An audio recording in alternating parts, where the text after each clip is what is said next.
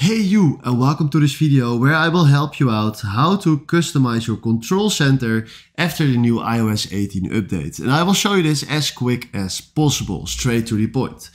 Alright, first make sure that you open your control uh, panel by uh, swiping from the right top to the down and then go to the uh, most upper uh, layout.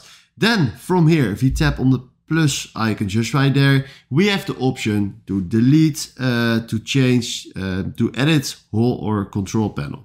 Now let's do the first step and that is delete an option by clicking on the minus icon and now we just remove a uh, yeah, control uh, option. What we also can do is uh, we can make the widget bigger by holding our finger on that icon right in the bottom, swipe it to uh, total or screen. And now we just created pages for our widgets. Now I don't want uh, pages for my widget. So if we hold this again and throw it back like how it was, we are back uh, with this.